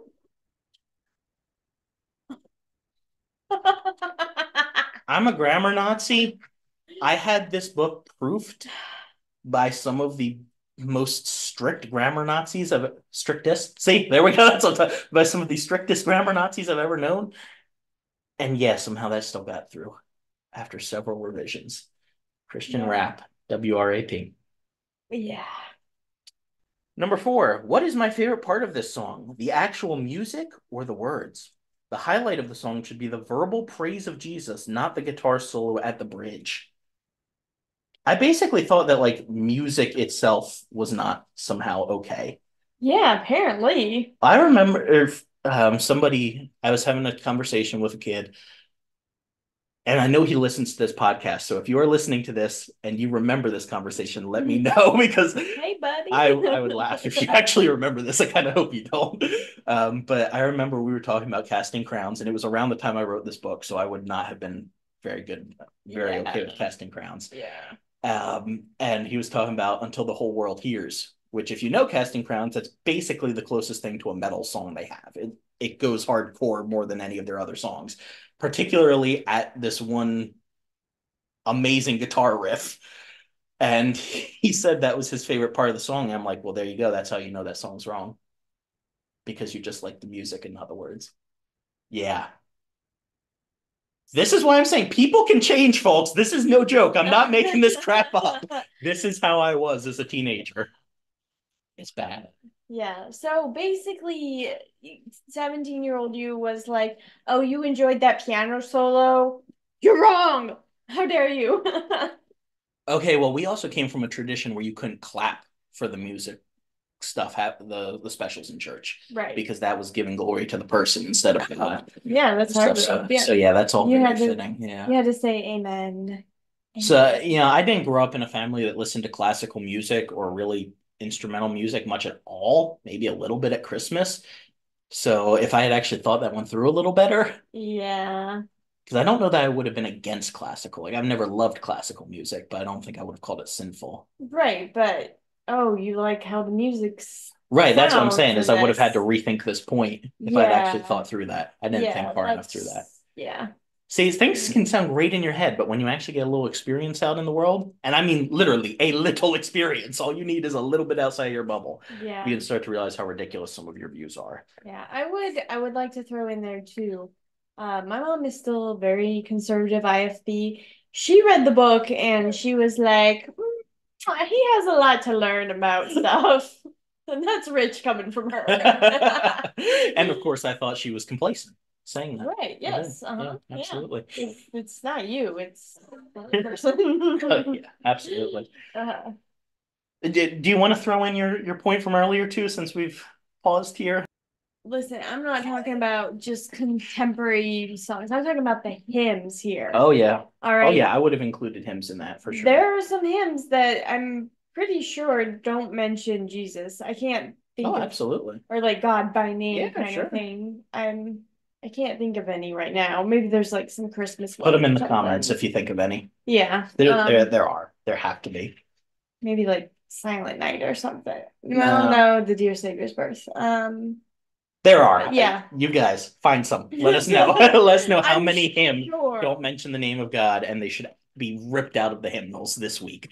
Just go to go to church. You know, we put these out on Sunday. So if you're listening to this on Sunday, next service you're there, find that hymn that doesn't have God's name or Jesus' name mentioned in it and just rip it out. Do your church a favor and, and save Right. them from that. Right, because a 17 year old told you to in his book. yeah, that's you didn't think that one through, or maybe you did. I don't know. I mean, I was I was a radical. Th- Right. This is major, major bad fundamentalism right here. Yeah, Not that there's really a good fundamentalism. no. but This this shows you what fundamentalism taken to its natural conclusion is. All right, you want to hear point five, Janna? Question five you should oh, ask Oh, yourself. Yeah. What is my motivation for listening to this song? If everyone else, quote unquote, suggested you listen to a the the number of times I use scare quotes in this is ridiculous. What is my motivation for listening to the song? If everyone else suggested you listen to a particular song, that song most likely goes against the grain of godly praise. if a song is popular, it doesn't please God. So Amazing Grace doesn't please God? Is that what you're saying? Okay, that's why I said most, Janna. oh, okay. I'm sorry. Apparently, I need to run. Oh, Colin, is this song too popular for me to listen Yeah, it might be. It might be. Right. Check how, how many listens it has on YouTube. It's over 30. it's sinful. Okay, and what is most ironic about this is when he got to college, there were some churches we went to where they sang songs that you had never heard oh, before. Oh yeah, they would literally go through the hymnal. Yeah, and like he's like, literally. he's like, I hate it when we go through the hymnal and we sing these songs that we don't know. Okay, Right. Yeah. Yeah. Okay, well, I was trying to slam contemporary Christian music is all I was trying to do at this yeah. point. Um, well, fail. Here's six. Yeah, seriously. What reputation does this artist have? If the singer or songwriter plays or listens to worldly music or lives a worldly lifestyle, how can he properly praise the Lord with secular filth in his mind? Well, guess you can't ever sing it as well ever again. Oh yeah, don't don't touch the sacred cows, yeah. for, for those of you who don't know, after "It Is Well" was written, the the um, couple that wrote it basically went off and started their own cult. And honestly, a lot of the hymns were bar tunes Uh-huh. or written by people who you would never invite in your church if you're from the kind of church we came from. Yeah. That's yeah, like we lift up these hymn writers, and yet if they actually lived today, we would have been considering them heretics. Oh, absolutely. But a because couple they hundred years makes the heart grow fonder. it's true. Yeah. I mean, they're using the contemporary music of their day yeah, to write God honoring music. Yeah. But yeah, but we can't do that today. right. Yeah. Well, you know, God stopped um blessing music about 300 years ago. Amen. Yeah, yeah. Oh, yeah. And number seven, how does the artist present his music? Do the singers sway back and forth? Do they look like a secular rock band in clothing and haircut? Yes, that's actually in here. Is the focus on the praise or on the desired recipient of the praise? The desired recipient of the Yeah, in other words, don't focus on the song, Uh-huh. focus on the one you're singing to. Right. Yeah, Right. yeah. Th- th- this was only because my church was connected to West Coast at the time, uh, Lancaster Baptist Church. And uh, at the time, Paul Chappell had this big thing about like any of the singers on the platform had to be in a very specific outfit and they couldn't move at all. They had to stand very stiff with their arms at their sides. There could be no movement. And it became a whole thing in my church too, where you'd have someone who would like tap on their knee while they were up there. Because we had a team for for a while, and there'd be like three to five people up there. And you'd have someone who would occasionally tap on their knee Mhm. or or you know just raise a hand or or Mhm. just the slightest little not even a sway but you know just the slightest little thing and and yeah that was causing problems for some people Wow. yeah I mean, you look at that church today and they're like, yeah yeah Mm-hmm. yeah so yeah I put a whole chapter on music in here mainly for teenagers. Actually, no, this wasn't a chapter on music. This was the teenager chapter, wasn't it? Yeah. Yeah. Yeah. Yeah, that was the teenager chapter, and I just took half of the chapter to talk about music because Because that's what teenagers struggle with most. right, and I Mhm. didn't want to talk about sex in it. Right. Apparently, oh, how things change. Again, we're not going for the E on this one. And then I have a whole nother chapter here on Mhm. complacent adolescence again, Oh, uh, on how it appears. Because Yeah. how dare these children not be involved in 90,000 ministry? Well, this one's about how they have bad attitudes Oh, oh, kids have bad attitudes. of and how they view church as just a social gathering, a time to talk with friends. Right, because Isn't a church a social gathering? Like, isn't that the idea? Like, yes, we're there to worship God, but right. Well, and these kids have no choice whether they're there or not. Right, get so they might as well talk to some friends. Right.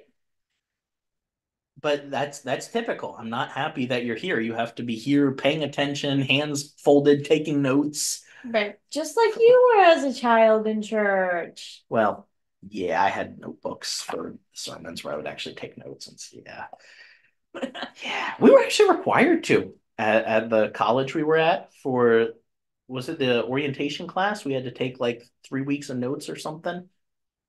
Um, Like as a whole, they didn't require you to take notes, but it was highly recommended. And I, I'm pretty sure the orientation class they required it for like your first three weeks of the college. no, that was for Devotions. devotions. That Yeah. was for devotions, Yeah. which fun fact, at the time I wasn't doing devotions because it was freshman year. So I your just- your uh, degree's about to get repealed.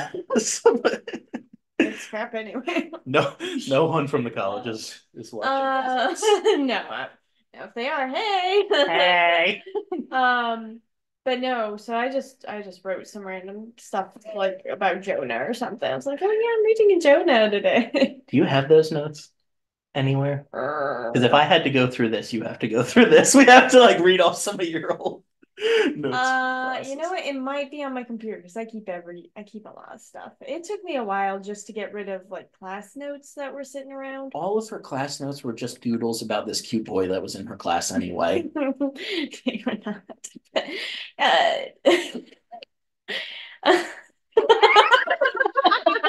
Okay, so if you're a Christian adolescent, I advise you to examine your life honestly. Who says adolescent? That's such a boomer thing to say. a 17 year old that sucked in your. If, if you're a Ute reading this, you youths. I advise you to examine your life honestly. Would your parents approve of everything you do?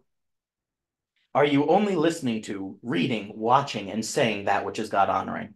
Are you on good terms with everyone in the church family? Do you truly care about being in God's house? If you answered no to any of these questions, then you, my friend, have fallen into complacent Christianity. Wow. Oh, it gets, I can blatantly say that because I once had to answer no to all those questions.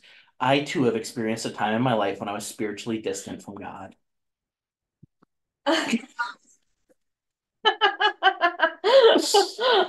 you have reached spiritual perfection at age The 17. angst that a teenager feels over following God when you're in a Oh cult.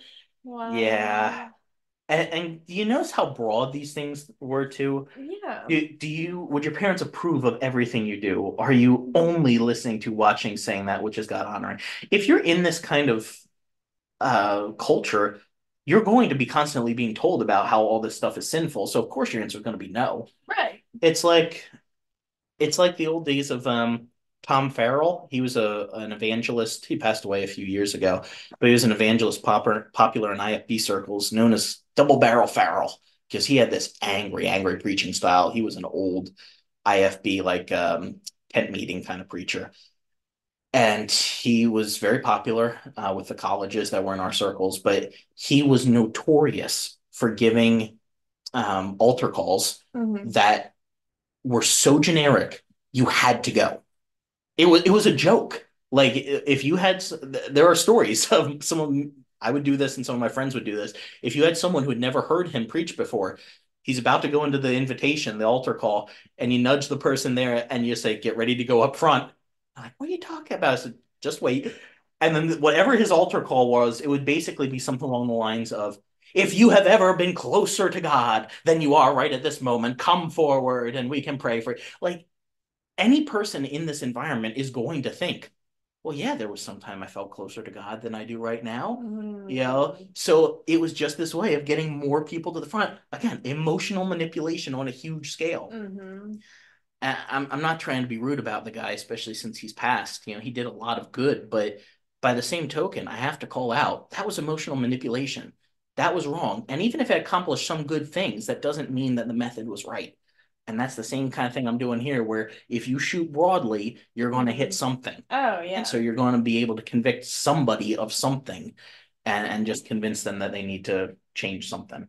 Yeah. And with that, you're saying, oh, does do your parents approve of everything you do in your life? Like, I don't know, what if, you know, what if the kid listens to, you know, the the CCM music or whatever kind of thing. The CCM, you you sound like a boom. We're listening to the CCM here in this house.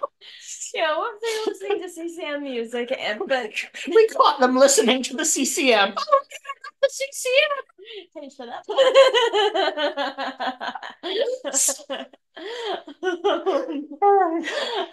okay. All right. All right. What if they're listening to CCM music, but their parents are fine with it? They don't care, you know, they're listening to CCM. Then, you know, now I've guilted them in addition to that. right, yeah, but you know, I mean, obviously the kid's going to be conflicted, like, oh, we listen to this music though, but this guy's saying it's wrong, Right. you know. See, that was the thing in those circles is you're always going not for the least common denominator, but for the highest bar possible, I guess. Sure. Like Christianity should be more of the least common denominator. Do you believe there's something special about this guy named Jesus? All right, we're both Christians. We can go s- s- from there, you know. Uh-huh. But it became about raising the bar the highest. So you might not listen to um, CCM, but then you get somebody who comes in and says, "Well, you shouldn't listen to music with drums in it because drums are sinful." Mhm. Or you So should, so then you know you have to ditch Ron Hamilton music, which some people actually somehow thought that Ron Hamilton was too liberal. Patch the Pirate, if you grew up with that. If you Did grew up with if you grew up with it, you knew that. He had drums in a few, some of his later ones. But oh, just like a Oh, very okay. just like a military drum beat kind of thing. Same thing with Right.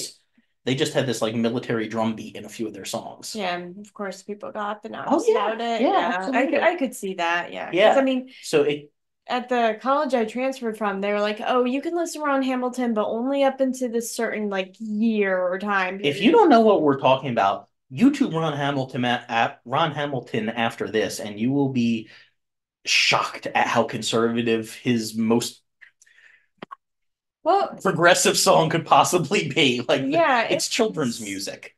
Yeah, there was um because he was Patch the Pirate, and there was one. It was the the Sneaky Sheik. That was the name of the. That doesn't sound racist at all. Um, there's a song from the Sneaky Sheik that was. I can't take this. It's like I didn't grow up on Patch the Pirate, so when I hear some of these names, I'm Uh, I can't take it. I'm sorry. uh, the Sneaky Sheik was one of my favorites, though. okay. Please stop saying that. So there was a song in that uh episode or what was the show. CD? I'm not saying it. Okay. Uh, I don't remember the name of the song, but it was very upbeat. It was like, um, you know, sing hallelujah, ba ba ba ba ba. Yeah, it was one of those where you could like And that easily was like clap along. And people. yeah, some people were. I mean, my mom was fine with us like listening to it. But Yeah. she said, "Oh yeah, people got upset about that." I was like, "Why?" It's ridiculous. It really is. The stuff that Christians fight over. okay, so after I challenge you to get on your knees before God and correct your mistakes with Him and those you've offended, I move on to the effects of complacency. And to determine if you have ceased or decelerated in your Christian growth, Yes. be- Uh-huh. because it can't just be that you've stopped. If you if you aren't moving forward, you're moving backward. Uh-huh. There we go again with you can never just be.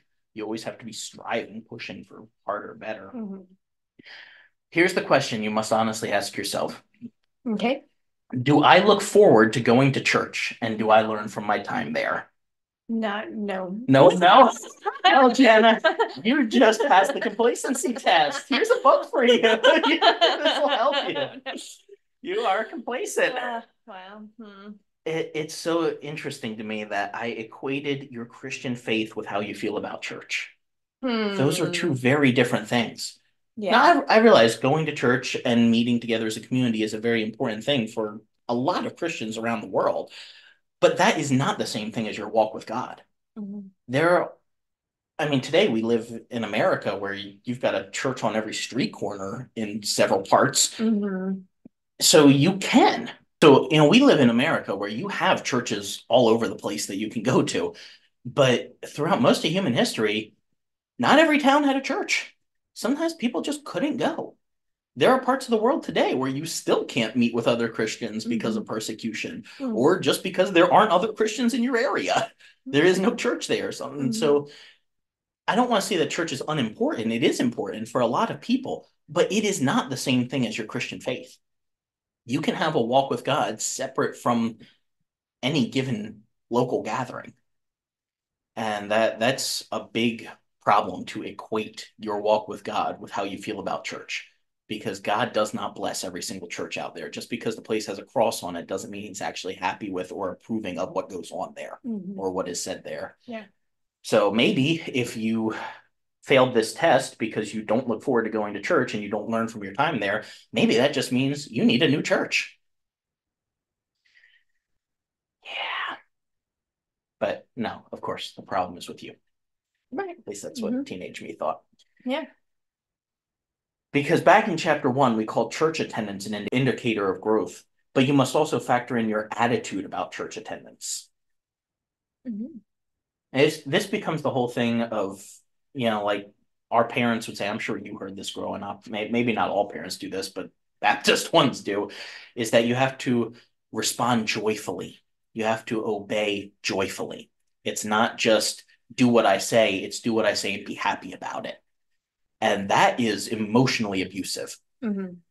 And and good people can do that. I'm not saying your parents are horrible abusers if they said that to you, but somebody can do something abusive without being a horribly abusive person, depending on what the action is. But yeah, that that is really emotionally abusive because what you're teaching these kids is you have to fake being happy and you Mhm. can't feel sad around me. You can't be upset about something. Well, it's natural to not want to do your chores. It's natural to be a little pouty about that. Mhm. And it's one thing to require obedience to what you said, but it's another thing to try to control somebody's feelings about what you said. Yeah. That's not healthy. And that's not something that you can or should be trying to do. But that's absolutely what I was saying here. That's Mhm. not okay. And you know what's funny with that too is as much as that gets preached, nobody ever points out the parable that Jesus told about the two sons whose father told them to work the field. And the one says, Nah, I'm not going to do it. But then he goes and does it. And the other one says, Sure, I'll do it. And then he doesn't do it. Mhm. And Jesus says, Well, which one pleased the father?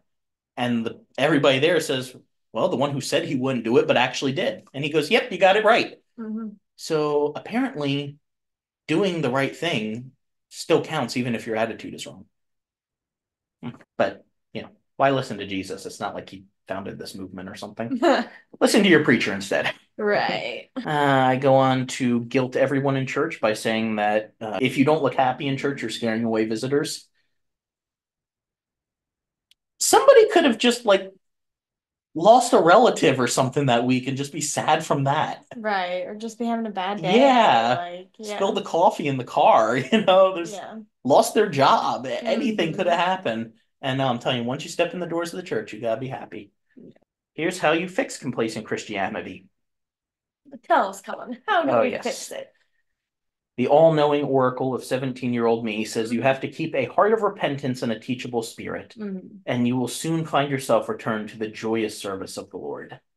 Not a relationship with Him, back to your joyous service the of Him. service. Uh-huh. Just like God forgave David, He will forgive you. Should you be aware of any sin in your life, this means you are still under the convicting influence of the Holy Spirit. Even now, you can get back on track. The way that you stop being complacent is you just ask God to forgive you for it. No, amen. Sorry, God, I'm complacent. Yeah. Okay, I'm gonna go on my very merry way now. That doesn't change anything about your attitude. No. How you fix your problem? You say I'm sorry for it. Okay, well that's a nice first step, but Mhm. that was the whole step I'm according to sorry me. you Yeah. think I'm complacent. You can tell she grew up with siblings because that's how you apologize for something to mom and dad when you get in a fight with a sibling. Here's how to avoid complacent Christianity. Oh, do tell. Well, first you need to be in Bible study and prayer. Amen. Because you never did a Christian who studied his Bible and prayed every day end up complacent. Oh, or oh, never. Or abusive or yeah, yeah, simple, yeah, no, Yeah, not, no. not at all. Mm. You can't truly have faith in God if you don't have faith in the power of prayer. And then I talk about what we should pray for. Let's see. We should pray for a spirit of contentment. Mm-hmm. We should ask for a teachable spirit Uh-huh. for any of the areas where we're skirting complacency. Of course. And we should pray for motivation to remain passionate for God. I I don't think the Bible teaches us to pray for any of those things. Yeah. Okay. Hmm. Uh, let's see what the other potent weapons are. Oh, Um, yes, The second step is keeping what I like to call the John attitude. Oh no. Why is it gotta be John? Yeah. because and then I go on to quote a, a pastor that I know. In the first yeah, in the first three gospels, the writers referred to John as simply John. However, in his own gospel, John always called himself the disciple whom Jesus loved. John never got over the fact that Jesus loves me, this I know, for the Bible tells me so. So we have to follow John's example and never forget the day that we answered God's call. So basically, just keep reminding yourself about why you became a Christian in the first place, and you'll be good. Third step is put others before yourself. I'm not sure how that helps you not be a lazy Christian, but okay. And then there's one last piercing step to ensure victory over complacency. Piercing stuff. Piercing step, yeah, not a regular step, a piercing step. Uh, that sounds painful. It does. It makes me think of uh, a quiet place where they're going down the the steps to the basement and there's a nail on the step. Yeah, that's just what I think of that now. That was a piercing step right there.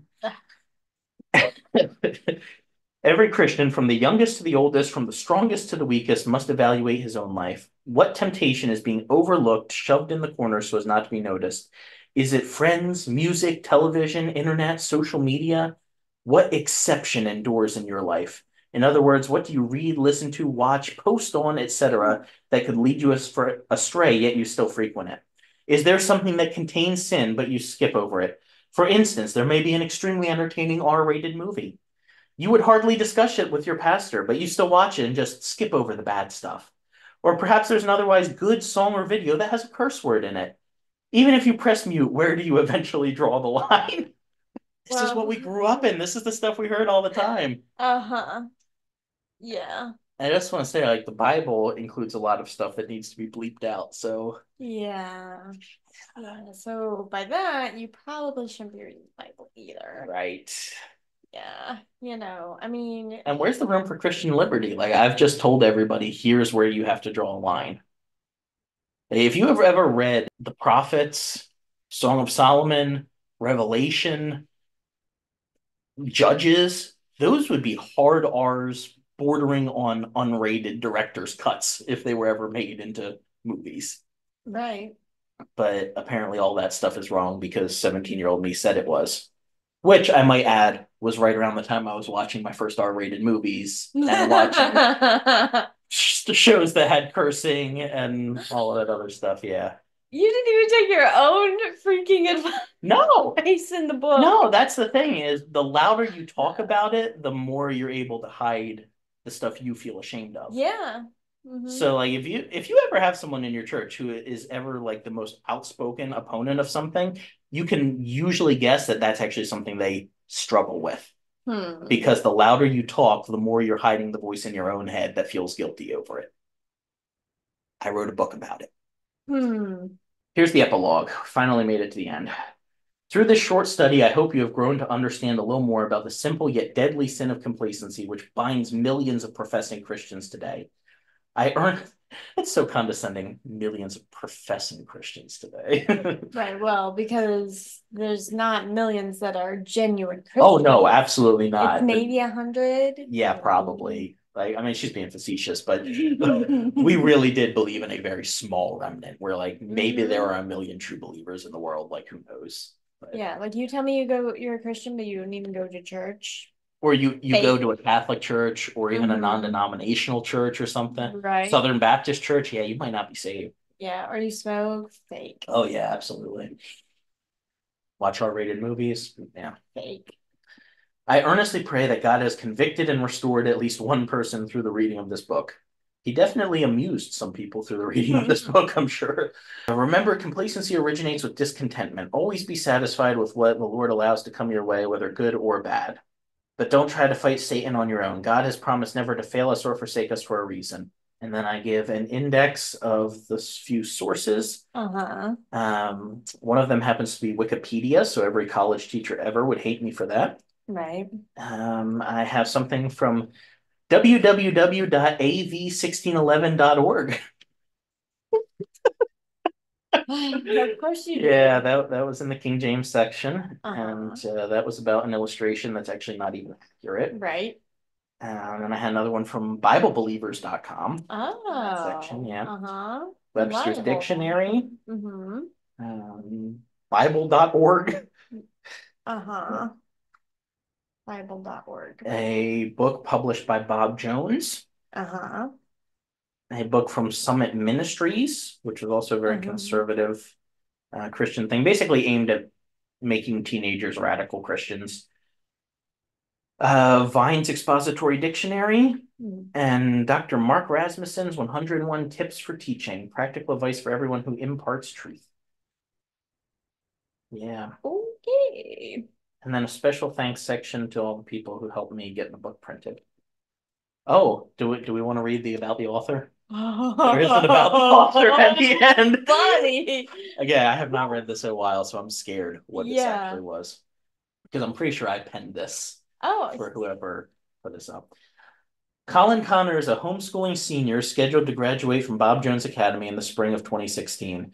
At the age of five, he accepted Jesus as his personal savior and has been involved in local church ever since. He currently serves in the Junior Church and Master Club ministries at his home church in New Jersey. A Philadelphia sports fan, Colin particularly enjoys watching and playing hockey. Other hobbies include writing books and short stories, studying apologetics, reading, and making balloon animals. Which, yeah, if you didn't know that about me, I am actually a balloonologist. I haven't practiced in a while, but yeah, I did actually do balloon animals. Uh, and I do have a comment on that on that about the author too, believe it or uh-huh. not. All right. Is is there anything about my personality that was missing from there, Janna? About your personality. I mean, Yeah. it was just, If if there's anything that describes something I like, what would be listed? well, Star Wars. Yeah. You didn't, oh, you didn't put Star Wars in because of how controversial it is amongst Baptists. Is that right? So I, like I mentioned in here, uh, I was a part of Bob Jones Homeschooling Academy, and they had a yearbook that would go out with it. I have it somewhere, and they would ask you what some of your interests were Mhm. for it. And I wanted to put down Star Wars because I have been a Star Wars nut since Yeah. like 2005, Mm. roughly. I'm sorry, mom. My, my mom wouldn't let me mention it because she thought that she she thought that, that people would be upset that uh, I actually watched Star Wars because yeah, there's there's you know space wizards in it and a, a little bit of cursing. There's like five curse words in all 12 movies, even with the new ones included. Oh, Um. Yeah. Oh, Leia in in the bikini. Oh, Yeah. uh-huh. So I was not allowed to mention uh, that I liked Star Wars. So again, my mom is a wonderful person, and uh, now she doesn't give a crap. No, sure. Uh, I don't even know if you remember that, mom. Again, I apologize, but but you know, a, a, a true godly Christian adolescent obeys his parents in all things. So I Uh-huh, want to make right. sure that I was Well, honoring my parents. And if you were really, if you were really following your own advice in that book, Mm. You would be so convicted about watching Star Wars because of the cussing and the ungodly music in Uh, you're right. There, Jesus isn't mentioned. Darth Vader's march does not mention Jesus. No, it doesn't. No. Oh. Same thing with the what was it? The creature in the um in the bar that was. Oh yeah, You know, yeah. I don't. Yeah, swaying in the cantina. Uh-huh, Yeah, yeah. you're right. mhm. Yeah. Yeah, so if you were really living out that book, you would Mhm. you would be so And I mean, there's a bar in the first place in Star Wars, so that's Right. that's wrong. right. Not to mhm, mention, and I have actually heard this, this was real. The mhm. good guys in the story are the rebels. So that's enough to tell you Star Wars is of the devil. Yeah. Yeah. Janna, you have any uh, concluding remarks on this little time capsule into teenage Colin? Um, I hope it doesn't get spread any further. Yeah, no, I've I have actually legitimately burned a couple of copies of this book. Oh, Uh, you? oh yeah. Oh. Yeah, it was symbolic for me. It was a healing experience for me, okay? Yeah. She thinks I'm joking. Uh, No, no. no, there, I mean, I literally had, this is no joke, I literally had box, a full box, possibly more, Mhm. that I took to my college with me as a freshman, and I tried to get the college to sell it in the bookstore. Yeah, They did not. they did not. and I'm so thankful that that just fell apart. Um, Yeah. yeah, I did hand this around there. There were people from New Jersey to California who got this. Like it was shipped out. Oh. Yeah, it was shipped to someone to a pastor I knew out in Texas, one I knew out in the Midwest. Mhm. Uh, I don't think it was Indiana, but it was somewhere out that way. Okay. And then there was there was one out in California way. So yeah, it, So sorry. Florida. Yeah, I know it went down to Florida. Yeah, yeah, Wow. it it was rough, but Yeah. again, the the reason that I wanted to to go through this, not just to make fun of myself, but to show that people actually can change, and that we need to be gracious with people on their journey. You know, as someone who has come a long way from where I was just eight years ago, it's easy for me to think I've arrived now. Mhm. Yeah, I don't consider myself a fundamentalist or a Baptist, but it's easy to keep that fundamentalist mindset Mhm. of, oh, now I've got the right way, and now I've got to convert you to my right way. Well, that's the same thing you were when you were a fundamentalist. Mhm. So fundamentalists aren't just on the far right side, they can be anywhere. Mhm. And uh, it's important to be reminded of this so we can stay humble in it and also just walk with people on their journey. Just like you don't want them, if you're listening to this, I'm guessing you're the type of person who doesn't want them shoving their beliefs down your throat. You also shouldn't be doing the same to them. And we have to let people be where they are, grow, Mhm. and that takes time Mhm. because chances are you didn't start out where you are now.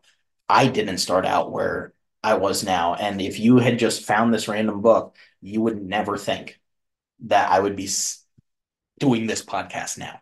Mhm. So anyone can change. Let this be an encouragement to you for the people you know who are hopelessly stuck in some form of toxic Christianity. Anyone can change. Mhm.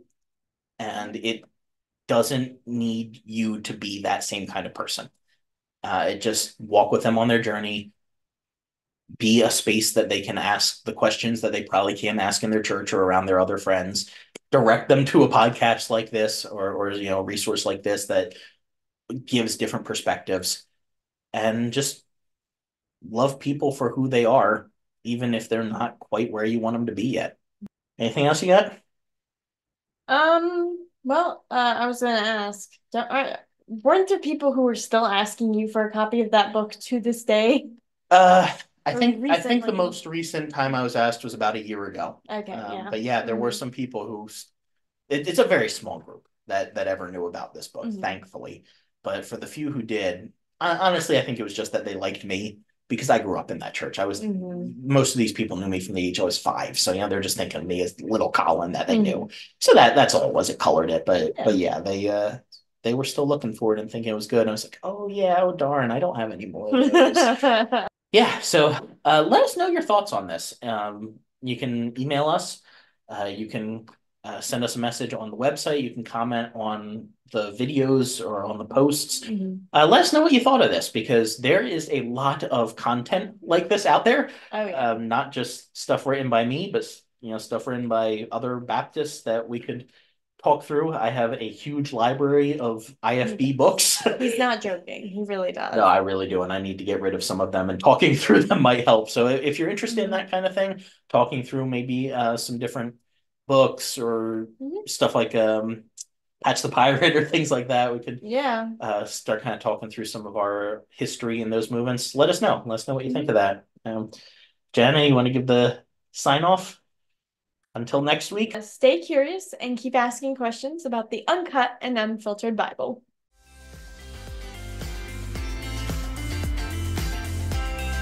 You've been listening to the Bible Uncut and Unfiltered. We hope we provided a healing place to discuss the questions you can't ask and the context you won't learn in church. If you enjoyed the podcast, would you take a minute to share it with a friend? You could also rate and review on your podcast app. If you'd like to donate to keep our work going, you can go to our website, thebibleuncut.com, and click on the Support Us tab. While you're there, check out the recommended resources and blog where we post show notes and other articles. Thanks for listening. We'll see you next week.